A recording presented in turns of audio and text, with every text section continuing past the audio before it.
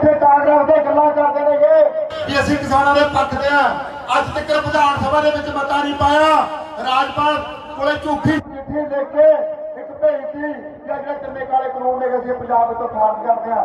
ਜੇ ਕਾਂਗਰਸ ਵਾਲਿਆਂ ਦੇ ਵਿੱਚ ਇੰਨਾ ਦਮ ਹੈ ਵਿਧਾਨ ਸਭਾ ਦੇ ਵਿੱਚ ਮਤਾ ਪਾਓ। ਤੇ ਤਿੰਨੇ ਕਾਲੇ ਕਾਨੂੰਨ ਜਿਹੜੇ ਮੁੱਢ ਤੋਂ ਖਾਰਜ ਕਰੋ।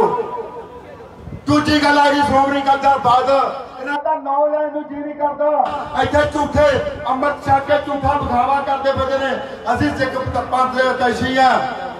ਜਿਹੜੇ ਤਿੰਨੇ ਕਾਲੇ ਕਾਨੂੰਨ ਜਦੋਂ ਆਏ ਸੀਗੇ, ਤੁਹਾਨੂੰ ਸਭ ਨੂੰ ਪਤਾ ਵੀ ਇਹਨਾਂ ਨੇ ਲੋਕ ਸਭਾ, ਰਾਜ ਸਭਾ ਦੇ ਵਿੱਚ ਬਹਿ ਕੇ ਇਹਨਾਂ ਨੇ ਖੁਦ ਆਪ ਪਾਸ ਕਰਾਏ ਨੇਗੇ। ਆ ਵੀਡੀਓ ਪਈਆਂ ਨੇਗੀਆਂ। 17 ਤਰੀਕ ਨੂੰ ਜਿਹੜਾ ਉੱਥੇ ਡਰਾਮਾ ਕਰਨ ਲਈ ਜਾ ਰਹੇ ਨੇ ਕੱਲ ਨੂੰ ਡਰਾਮਾ ਕਰਨ ਲਈ ਜਾ ਰਹੇ ਨੇਗੇ। ਬਾਦਲ ਪਰਿਵਾਰ, ਜਿਹੜਾ ਵਿਧਾਨ ਜਿਹੜਾ ਆਪਣੀ ਸੈਸ਼ਨ ਘੇਰ ਲਈ ਜਾ ਰਿਹਾ, ਸੰਸਦ ਘੇਰ ਲਈ ਜਾ ਰਿਹਾ। ਮੈਂ ਪੁੱਛਣਾ ਚਾਹੁੰਦਾ ਅਕਾਲੀ ਦਲ ਵਾਲਿਓ, ਤੁਸੀਂ ਪਹਿਲਾਂ ਕਿਉਂ ਨਹੀਂ ਇਹ ਸੰਸਦ ਘੇਰੀ?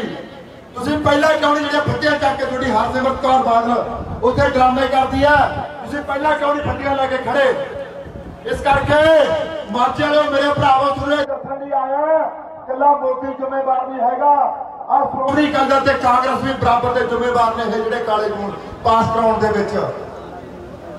ਲੰਬੇ ਸਮੇਂ ਤੋਂ ਜਿਹੜਾ ਤੁਹਾਡੇ ਪੰਜਾਬ ਨੂੰ ਲੈ ਕੇ ਵੇਚ ਗਏ ਨੇ ਦਿੱਲੀ ਅੱਗੇ ਅੰਗਰੇਜ਼ਾਂ ਦਾ ਜੇ ਪੰਜਾਬ ਦੇ ਵਿੱਚ ਰਾਜ ਹੋਇਆ, ਤਾਂ ਜਿਹੜਾ ਪਟਿਆਲੇ ਦੇ ਰਾਜ ਸੀ, ਕੈਪਟਨ ਪਰਿਵਾਰ ਸੀਗੇ, ਇਹ ਅੰਗਰੇਜ਼ਾਂ ਨੂੰ ਪੰਜਾਬ ਦੇ ਵਿੱਚ ਲੈ ਕੇ ਆਏ। ਪੂਰਾ ਭਾਰਤ 200 ਸਾਲ ਗੁਲਾਮ ਰਿਹਾ 98 ਸਾਲ ਕੱਲਾ ਪੰਜਾਬ ਰਾਜ ਗੁਲਾਮ ਰਿਹਾ। ਤੇ ਫਿਰ ਆਜ਼ਾਦ ਵੀ ਇਹਨਾਂ ਯੋਧਿਆਂ ਨੇ ਕਰਾਇਆ, ਮਾਝੇ ਵਾਲੇ ਯੋਧਿਆਂ ਨੇ ਆਜ਼ਾਦ ਕਰਾਇਆ। ਇਸ ਕਰਕੇ ਵੀਰੋ, ਇਹ ਤੁਹਾਡੇ ਅੱਗੇ ਹੱਥ ਬਣ ਕੇ ਬੇਨਤੀ ਕਰਦੇ ਆ ਜਿਹੜੇ ਲੋਕ ਤੁਹਾਡੇ ਅੱਗੇ ਝੂਠਾ ਡਰਾਮਾ ਕਰਦੇ ਨੇਗੇ, ਇਹ ਡਰਾਮੇ ਵਾਲਿਆਂ ਨੂੰ ਸਮਝੋ ਆ ਝੂਠੀਆਂ ਗੱਲਾਂ ਕਰਦੇ ਫਿਰਦੇ ਨੇਗੇ। ਤੁਹਾਡੇ ਪੰਜਾਬ ਨੂੰ ਜਿੱਤ ਕੇ ਕੀ ਕਰਨਗੇ? ਬੜੀ ਕਾਲੀ ਹੋਈ ਆ। ਸੁਖਵੀਰ ਬਾਦਲ ਨੂੰ ਬੜੀ ਕਾਲੀ ਹੋਈ ਆ ਸੀਐਮ ਬਣਨ ਦੀ। ਤੁਸੀਂ ਪਹਿਲਾਂ ਪ- 25 ਸਾਲ ਰਾਜ ਕੀਤਾ 5 ਸਾਲ ਸੀਐਮ ਰਹੇ ਹੋ। ਉਹ ਦੁਨੀਆ ਦੀ ਸਭ ਤੋਂ ਉਪਜਾਊ ਧਰਤੀ ਵਰਲਡ ਦੀ ਸਭ ਤੋਂ ਉਪਜਾਊ ਧਰਤੀ ਤੇ ਤੁਸੀਂ ਕਿਸਾਨ ਦਿੱਲੀ ਦੇ ਬਾਰਡਰਾਂ ਦੇ ਜਾ ਕੇ ਬਤਾਤੇ 600 ਤੋਂ ਬਾਅਦ ਚੀਜ਼ਾਂ ਤੁਹਾਡੇ ਤੁਹਾਡੇ ਕਰਕੇ ਪਈਆਂ ਨੇ ਸਭ ਤੋਂ ਪਹਿਲਾਂ ਮੇਰਾ ਜਵਾਬ ਇੱਕੋ ਹੀ ਹੈ ਵੀ ਕੀ ਤੁਸੀਂ ਉਹ ਕਿੰਨੇ ਕਾਲੇ ਕੋਲ ਦਾ ਪੱਖ ਪੂਰਿਆ ਨਹੀਂਗਾ ਇਸ ਕਰਕੇ ਵੀਰੋ, ਅੰਦੋਲਨ ਦੇ ਵਿੱਚ ਡਟੋ ਤੁਹਾਨੂੰ ਇਹਨਾਂ ਰਾਜਨੀਤਿਕ ਪਾਰਟੀਆਂ ਨੇ ਕੁਝ ਨਹੀਂ ਦੇਣਾ। ਤੁਹਾਡਾ ਧਿਆਨ ਅੰਦੋਲਨ ਤੋਂ ਹਟਾ ਕੇ 2022 ਦੇ ਵੋਟਾਂ ਵੱਲ ਲਾਇਆ ਜਾ ਰਿਹਾ। ਹੈ ਕਿਉਂ ਲਾਇਆ ਜਾ ਰਿਹਾ? ਹੈ ਕਿਉਂਕਿ ਅਮਿਤ ਸ਼ਾਹ ਤੇ ਮੋਦੀ ਦੇ ਪੱਕੇ ਯਾਰ ਨੇਗੇ। ਉਹਨਾਂ ਨੂੰ ਪਤਾ ਵੀ ਸਾਡੀ ਪੰਜਾਬ ਦੇ ਵਿੱਚ ਦਾਲ ਨਹੀਂ ਡਾਲਣੀ ਆ ਕੈਪਟਨ ਅਮਰਿੰਦਰ ਸਿੰਘ ਜਿਹੜਾ ਪਾਕਿਸਤਾਨ ਦੀ ਚੋਰੀ ਦੀ ਬੰਦੂਕ ਚੱਕੀ ਫਿਰਦਾ, ਰੂਸਾ। ਰੂਸਾ ਪਾਕਿਸਤਾਨ ਦੀ ਚੋਰੀ ਦੀ ਬੰਦੂਕ ਚੱਕੀ ਫਿਰਦਾ। ਅਮਿਤ ਸ਼ਾਹ ਦਾ- ਅਮਿਤ ਸ਼ਾਹ ਮੂਰੇ ਉਹਦੇ ਕਰਕੇ ਬੋਲ ਨਹੀਂ ਸਕਦਾ ਕੈਪਟਨ ਅਮਰਿੰਦਰ ਸਿੰਘ। ਕਿਉਂਕਿ ਉਹੀ ਭਾਜਪਾ ਦੇ ਕੈਪਟਨ ਦੇ ਇਨਸਾਨ ਦਾ ਸਾਥ ਦੇਣਗੇ ਵੀ ਤੂੰ ਪਾਕਿਸਤਾਨ ਦੀ ਏਜੰਟ ਤੂੰ ਆਪਣੇ ਨਾਲ ਰੱਖੀ ਫਿਰਦਾ। ਉਹ ਜਿਹੜੇ ਆਹ ਜਿਹੜੇ ਹੱਲ ਤੱਕ ਇਹਨਾਂ ਦੇ ਵਿੱਚੋਂ ਨਿਕਲ ਸਕੇ ਤੇ ਪੰਜਾਬ ਦਾ ਤੁਹਾਡਾ ਕੀ ਭਲਾ ਕਰਨਗੇ। ਇਸ ਕਰਕੇ ਪੰਜਾਬ ਦੇ ਲੋਕੋ, ਇਹ ਚੀਜ਼ ਆਪਣੇ ਦਿਮਾਗ ਦੇ ਵਿੱਚ ਬਿਠਾ ਲਿਓ ਇੱਕ। ਜੇ ਮੋਦੀ ਤੁਸੀਂ ਕਹਿੰਦੇ ਦੁਸ਼ਮਣ ਹੈ ਤਾਂ ਮੋਦੀ ਦਾ ਬੜੇ ਦੁਸ਼ਮਣ ਤੁਹਾਡੇ। ਕਾਲੀ ਤੇ ਕਾਂਗਰਸੀ ਨੇਗੇ। ਘਾਟੇ ਦੇ ਵਿੱਚੋਂ ਆਮ ਆਦਮੀ ਪਾਰਟੀ ਵਾਲੇ ਵੀ ਨਹੀਂ ਹੈਗੇ। ਜੇ ਤੁਸੀਂ ਕਹੋ ਵੀ ਆਮ ਆਦਮੀ ਪਾਰਟੀ ਵਾਲੇ ਘੱਟ ਨੇਗੇ।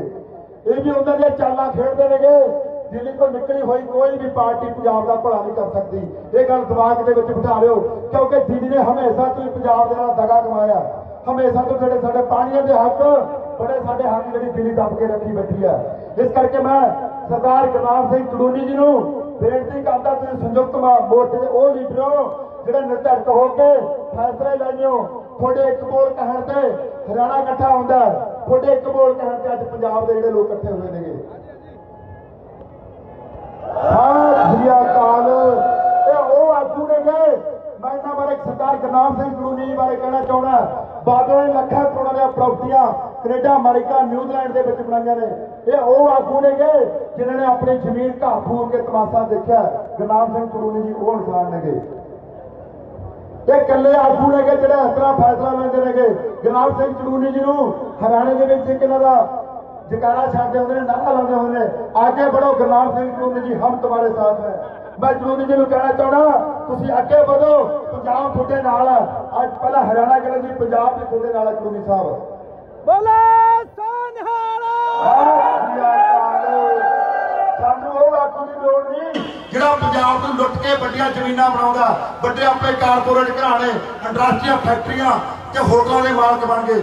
ਸਾਨੂੰ ਉਹ ਆਗੂ ਦੀ ਲੋੜ ਹੈ ਜਿਹੜਾ ਸਾਡੇ ਲਈ ਸੜਕਾਂ ਤੇ ਸੌਂ ਸਕਦਾ ਜਿਹੜਾ ਸਾਡੇ ਲਈ ਨੰਗੇ ਪੈਰੀ ਤੁਰ ਸਕਦਾ ਸਾਨੂੰ ਅਜਿਹੇ ਆਗੂ ਦੀ ਲੋੜ ਹੈ।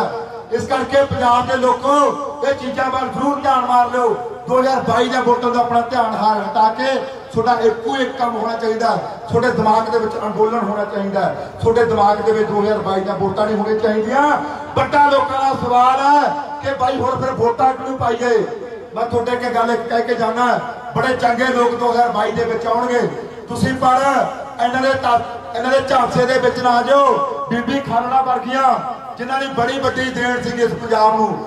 ਤੇ ਫਿਰ ਲੋਕਾਂ ਨੇ ਵੋਟਾਂ ਪਾ ਕੇ ਜਿਤਾਇਆ ਕਿਹਨੂੰ? ਉਹ ਛੜੇ ਹੋ ਡਿੰਪੀ ਨੂੰ ਜਿਤਾਇਆ। ਉਹ ਜਿਹੜਾ ਪੱਤਰਕਾਰਾਂ ਦੀ ਬੇਇੱਜ਼ਤੀ ਕਰਦਾ, ਪੱਤਰਕਾਰ ਕੁੜੀ ਨੂੰ ਬੇਇੱਜ਼ਤੀ ਕਰਦਾ, ਜਿਹਨੂੰ ਬੰਦੇ ਨੂੰ ਬੋਲਣ ਦਾ ਪਤਾ ਹੀ ਨਹੀਂ। ਬੀਬੀ ਖਾਲੜਾ ਨੂੰ ਹਰਾ ਕੇ ਤੁਸੀਂ ਉਹਨੂੰ ਤੱਕ ਉਹਨੂੰ ਕੁਰਸੀ ਤੇ ਬਿਠਾਉਣੇ ਹੋ। ਇਸ ਕਰਕੇ ਲੋਕੋ ਇਹ ਗੱਲਾਂ ਪ੍ਰਤੀ ਜਾਗਰੂਕ ਰਹੋ। ਕਿ ਆ ਮੇਰੇ ਬਹੁਤ ਸਾਰੀਆਂ ਗੱਲਾਂ ਨੇ ਗਿਆ, ਬਹੁਤ ਸਾਰੀਆਂ ਗੱਲਾਂ ਫਾਹਾਂ ਉਤਰੀਆਂ ਨੇ ਗਿਆ।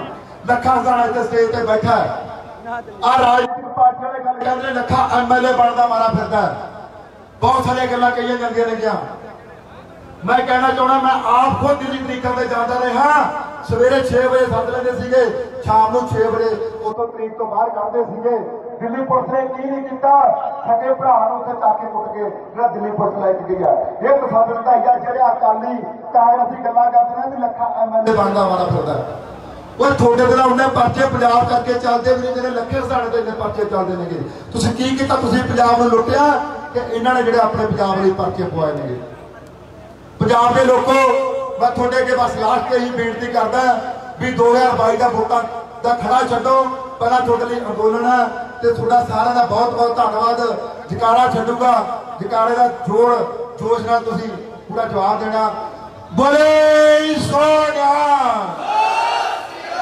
ਬੋਲੇ